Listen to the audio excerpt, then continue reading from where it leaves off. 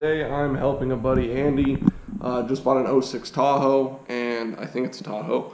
And it has the AFM, the uh, displacement on demand or active fuel management, however you want to say it, in it. And he wants to turn it off. Uh, I thought for a long time that you had to do the cam kit with the lifters, uh, but after doing some research, it looks like you can disable it through HP tuners or as long as you have a tuner that's capable of doing so. So I uh, went ahead and grabbed the cable and uh, downloaded the newest version of HP Tuners and gonna give it a try. So he'll be over here soon. Um, hopefully it works. just go in. It looks like it's just a few settings. Uh, turn it off, disable it, and then we'll have to see what it does. You guys don't know is you have to unlock every vehicle to this, and it costs around a hundred dollars. Uh, takes two credits. Each credit's fifty bucks, and that's just to unlock it. That's just to be able to write tunes to it. You can, I believe, read from it and stuff like that, uh, log it, but to be able to write a tune to the vehicle, you have to unlock the computer to be able to do that. So uh, to be able to do this, we'll have to pay the hundred bucks, unlock it, write the tune, uh, disable the DoD and uh, active fuel management, and we'll see how it goes. We'll play with it, and uh, I haven't played a lot with HP tuners. That's part of the reason why I'm starting to play or try to build this car uh, so then I can run the new, I believe it's E38 ECM with the new uh, Gen 5 LT, so I can start learning some of that. That engine has the active fuel management as well, so something that I can play with, learn to tune around, uh, and then probably put a cam in it or whatever. Uh, Andy's vehicle, I don't think has anything done to it yet, so the fuel and everything should be real good.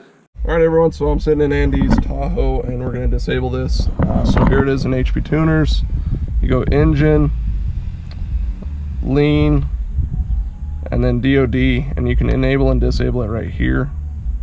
So I'll go disable. Turns red right there, shows that it's made a change. And then we go write vehicle.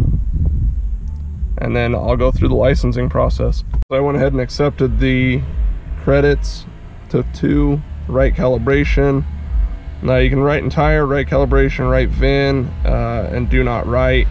Uh, just write calibration, it'll only write the changes that we made. Which they say you don't want to really do uh, write entire because that's where you could mess some stuff up.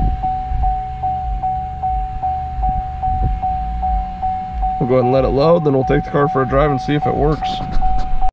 All right guys, so we're driving. Uh, so when do you usually notice it? It, it would have would have been doing it already. Yeah, it's more apparent, you know.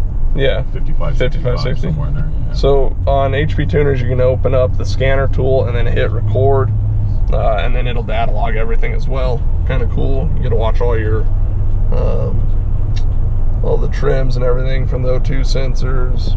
Uh, make sure all your sensors are reading right, engine coolant, speed. Uh, something else we're going to adjust on this is probably the speedometer here. I need to find out where we need to adjust that and adjust that, but kind of cool deal. Uh, makes all your counts and everything.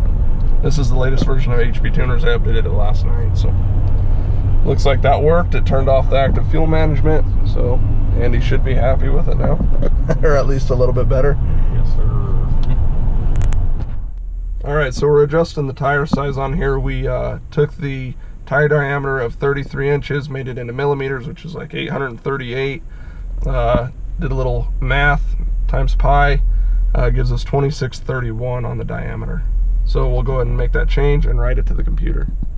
So to verify speed, I just went ahead and pulled up the GPS on the phone and then in the scanner. So 47, uh, 45 there, 46, 45, so that's pretty close. Maybe one or two off. What do you have over there? Right at 45. Right at 45 there. Okay. So 46, 47 per this. I don't know how accurate these are on your cell phone, but uh, it's fairly close. Might need to check it a couple other ways too not a professional tuner by any means, but I'm learning a little bit every day. So if you'd like to see more about what I'm learning, please let me know in the comments below, and I'll do some more of these videos with tuning. Uh, thank you everybody for watching, and I appreciate it so much.